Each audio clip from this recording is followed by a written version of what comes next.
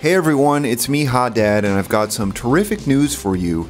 There's a brand new Girls Who Care track out right now on all of your favorite streaming platforms, all the streaming platforms that you love to use, that you love to click on and listen. It's a perfect song for you to listen to, I don't know, like a hundred thousand times per listener here, or maybe 200,000. Could do a million if you're feeling up to it. It's also on Bandcamp, you know, classic classic Bandcamp posting. Uh, so you can you can go there, and if you if you felt so generous, you could give me a, a big buck or maybe like a large dough or you know whatever, or it's free on there. But anyway, uh, just wanted to let you know it's out. It's a track that I wrote 10 years ago. I started writing it 10 years ago. I finished it now, but it doesn't even sound 10 years old. It sounds more like 40 years old because it's supposed to sound like the 1980 or some kind of crap like that. So uh, go check it out. I think you'll really love it. Uh, links will be in the description below.